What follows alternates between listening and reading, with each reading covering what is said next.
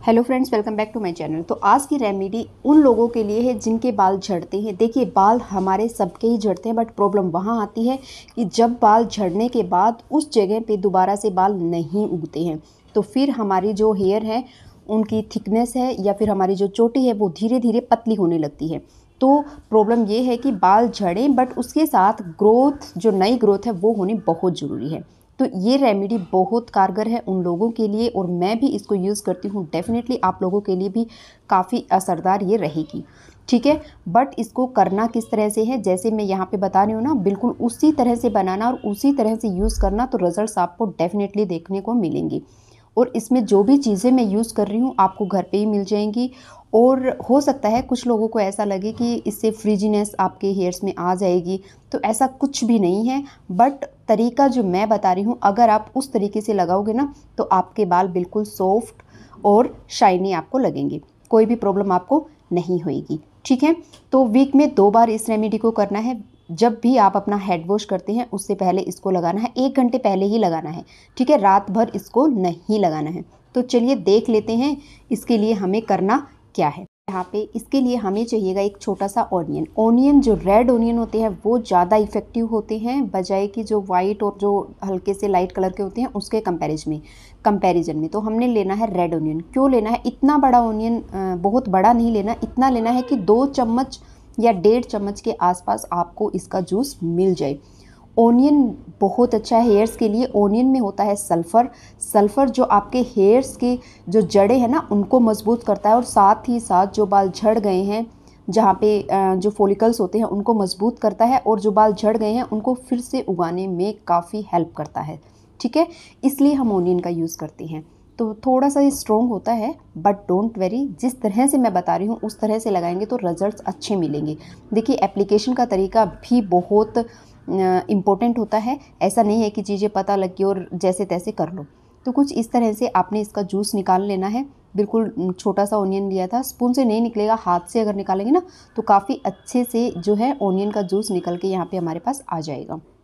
तो हर बार जब आप ये ओनियन जूस बनाएँगे तो नया बनाना है, इसको रख नहीं सकते हैं, ठीक है?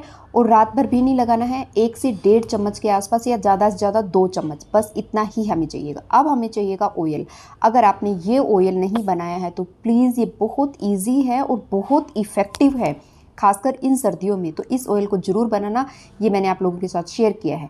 तो इसी की लगभग दो चम्मच दो चम्मच ओनियन जूस दो चम्मच ये वाला ऑयल ठीक है, अगर ये नहीं बनाया तो बना लीजिए, नहीं तो सिर्फ़ सरसों का तेल अगर आपके पास है तो वो भी आप इसमें ऐड कर सकते हैं। और कुछ इस तरह से इसको मिक्स अच्छे से करना है। देखो, जब ये मिक्सिंग प्रोसेस है ना, इसको जब आप करेंगे अच्छे से तो ये बिल्कुल एक सार हो जाएगा। उस पॉइंट पे आपको आपको लगेगा कि हाँ ऑयल जो है बिल्कुल रेडी है लगाने के लिए। और इतना ही ऑयल चाहिएगा, चाहे आपके हेयर की लेंथ, ग्रोथ कितनी भी हो, आपने यही मेज़रमेंट लेना है। तो किस तरह से लगाना है, ये भी मैं अभी आपको बताऊँगी। तो सबसे पहले आप अपने हेयर्स को कोम कर लो। जब भी ऑयलिंग करते हो हेयर मास्क लगाते हो, मेहंदी लगाते हो, कुछ भी लगाए ना तो कोम अच्छे से किया करो। और हेयर ग्रोथ में कोम का भी बहुत इफ़ेक्टिव रोल है। तो क्या करना है आपको कि कम से कम दिन में ज़्यादा नहीं तो तीन से चार बार अपने हेयर्स को कोम किया करो। ठीक है? कोम कर लिया। अब हम अपने ऑयल को इसमें एप्लीकेशन करेंगे। एप्लीकेशन करके फिर से उसको अच्छे से मिक्स कर लो। तक अगर आपको वो अच्छे से लगता है कि मिक्स नहीं हुआ है तो। जैसे मैं दिखा रही हूँ प्लीज़ इसी तरह से लगाना है आपने। आपने पार्टीशन करते जाना है और अपनी फिंगर्स की हेल्प से, जो कि जड़े हैं ना, उनमें लगाना है। और हल्के हल्के हाथों से, जैसे लगाते जाना और हल्के हल्के हाथों से, उसी टाइम जो है हल्की हल्की मसाज करते जाना। नहीं तो क्योंकि ओनियन जूस है, ये एक पानी ही है और ये ड्राई हो जाएगा, बाद में हम मसाज नहीं कर पाएँगे। इसलिए जब भी मसाज करें, अगर आपको हेयर फॉल बहुत ज़्यादा हो रहा है तो हल्के हल्के हाथों से ही मसाज करनी है लाइक सिर्फ़ अप्लीकेशन कर देना है, बस। ठीक है? अगर आपको बहुत ज़्यादा हेयर फॉल नहीं हो रहा है ना तो कुछ इस तरह से। जैसे मैं कर रही हूँ हल्के हल्के हाथों से मसाज करते जाइएगा, बहुत ज़ोर से नहीं रगड़ना है। ठीक है? और बहुत ज़्यादा हेयरफॉल जो जिन लोगों को हो रहा है, वो लोग एक काम और कर सकते हैं कॉटन की हेल्प से। कॉटन की हेल्प से पूरे स्कैल्प पे इसी तरह से लगा देना है। ठीक है? और आप देख रहे हैं कि मैं साथ के साथ मसाज करती जा रही हूँ, क्योंकि ये हमारे रूट्स के लिए बहुत ज़रूरी है। अगर हमारी रूट्स मज़बूत होंगी, एक तो हमारे बाल झड़ेंगे नहीं, इतने नहीं झड़ेंगे एक्सेस में, ठीक है? और उसके साथ साथ अगर हमारे हेयर झड़ गए हैं और कहीं पे हमें लग रहा है कि ग्रोथ अच्छी नहीं है है ना? तो उस एरिया पे थोड़ा सा ध्यान हमने ज़्यादा देना है। पूरे हेयर्स पे, पूरे स्कैल्प पे अच्छे से लगाना है। लेंथ पे आपने इसको एप्लीकेशन नहीं करना है। लेंथ पे कुछ और हम करेंगे, जो कि अभी आप देख, देखोगे। ठीक है? इस तरह से जब हम ऑयलिंग करेंगे ना तो आप देखोगे कि रिजल्ट्स आपको ज़्यादा नहीं ना तो दो वीक में मिल जाएँगे। दो वीक में एप्लीकेशन चार बार हो गया तो चार बार के एप्लीकेशन से ही आपको काफ़ी अच्छा और बेटर फील होगा। जिन लोगों के हेयर लाइक गंजेपन के जैसे हो चुके हैं, वो लोग भी इसको ट्राई कर सकते हैं, क्योंकि ये आपके स्कैल्प में जो क्या बोलते हैं रूट्स हैं, उनको फिर से जगा देता है।